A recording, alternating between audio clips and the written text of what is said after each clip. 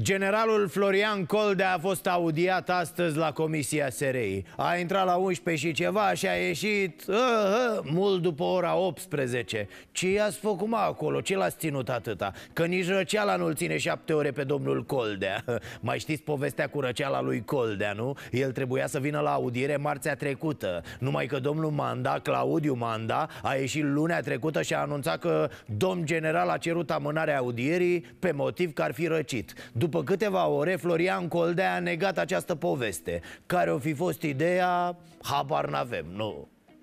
Va fi tratat cu o răceală Astfel încât să înțeleagă că prezența lui este inoportună nu știu, probabil că generalul nu trebuia să vorbească înaintea congresului PSD Să spună ceva de petrecerile de la SRI La care ar fi mers și Dragnea, dușmanul statului paralel Să nu-l dea de gol. Poate vom afla cândva. Poate vom avea, cine știe, vreo comisie specială antirăceală. În fine, asta cu petrecerile era doar unul dintre subiecte. Mai erau și altele, da?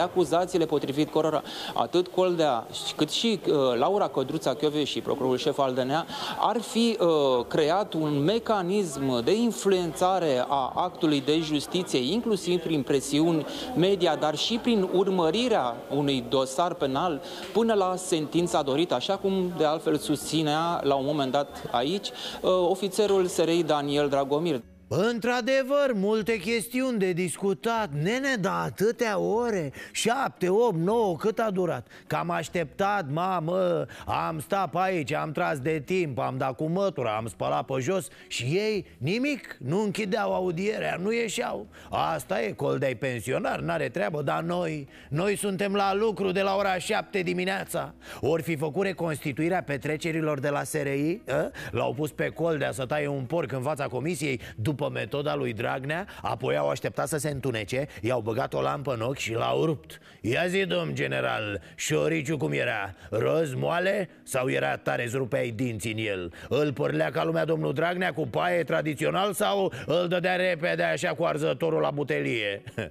Până la urmă, când să închidem baraca, au ieșit Mai bine nu ieșeau Deși înțeleg atracția pentru mister, povești cu spioni, contra spioni, și conspirații, precum și frustrarea unora și nevoia de a inventa alte vinovății, aceste demersuri, care observăm că merg dincolo de lupta politică, riscă să se transforme într-o adevărată vânătoare de vrăjitoare. V-au deranjat aiurea, nene Coldea, nu? Vor și ei să știe cum e cu spionii, cu astea Ah, mi-a plăcut aia cu jurnaliștii Bună, bună de tot Răspunsurile, ca să sistematizez cumva lucrurile, s-au referit la o serie de chestiuni, alegații, acuzații vehiculate în spațiu public, ale unor forți sau actual beneficiari și parteneri instituționali, ale unor jurnaliști, oameni de media care ne acuză astăzi, dintre care pot să vă spun că o parte ne cultivau cu multă insistență.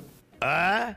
Gen, băi, ăștia care erați ai noștri, iar acum vă credeți independenți Ciocu mic, da? Că mai avem dosarele voastre, la unii chiar și statele de plată Deci a fost mișto, domne, le-a plăcut, s-au înțeles de minune Se mai întâlnesc, da? Țaca-paca, poate data viitoare se sărută